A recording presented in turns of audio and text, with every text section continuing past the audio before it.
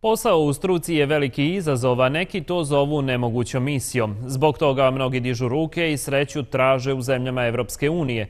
Kako zadržati mlade i vratiti im nadu da i ovdje mogu da ostvare svoje ciljeve? Da li ću nakon završenog školovanja pronaći adekvatan posao? Šta ako ne uspijem? Da li ostati i boriti se ili uzeti pasoš u ruke i pobjeći? Ovo je roj misli i pitanja koje sebi postavljaju učenici. Da bi ih zadržali, mladima su potrebne prilike.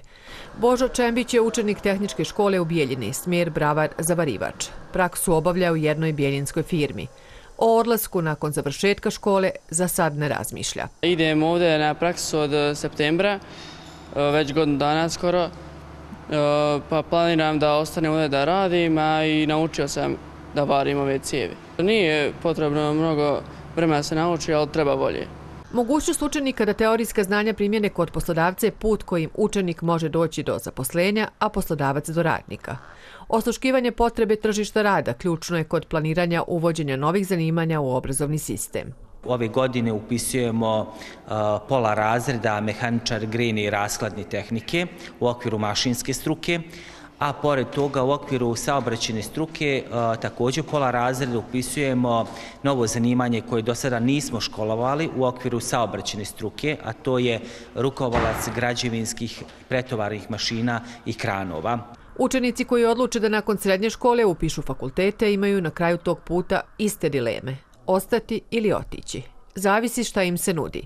Studenti Pravnog fakulteta Univerziteta u Istočnom Sarajevu sa kojima smo pričali kažu da su zahvaljujući saradnji koju je Pravni fakultet sklopio sa Evropskom organizacijom za javno pravo dobili priliku da pohađaju školu Evropskog prava i uprave. Ta diploma nam još daje mogućnost da budemo u svakom momentu, odnosno da pristupimo bilo kojoj od institucija Evropske unije. Da li je to u pitanju Evropska komisija, Evropski parlament ili Evropski savjet kao jednih od glavnih institucija eh, Evropske unije, tako da rekla bih da je tu pravni fakultet napravio jedan veliki korak. Univerziteti rade kontinuirano u procesu modernizacije studijskih programa i povećanju nivoa usklađenosti sa studijskim programima Evropske unije.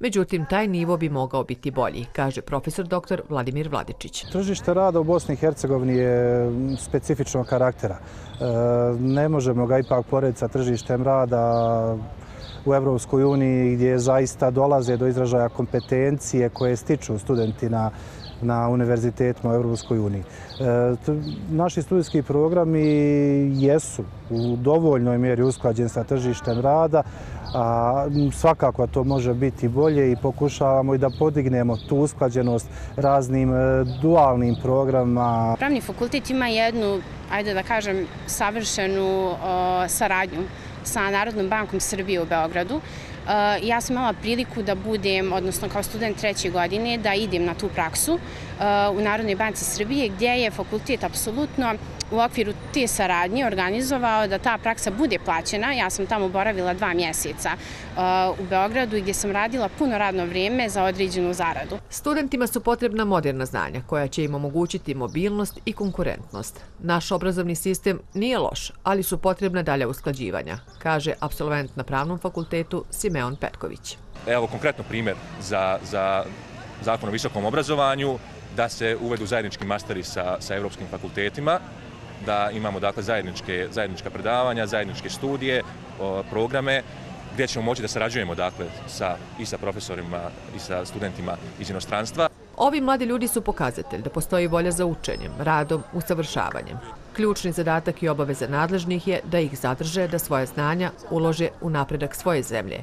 A to mora biti zemlja u kojoj partijska knjižica neće biti lozinka za zaposlenje.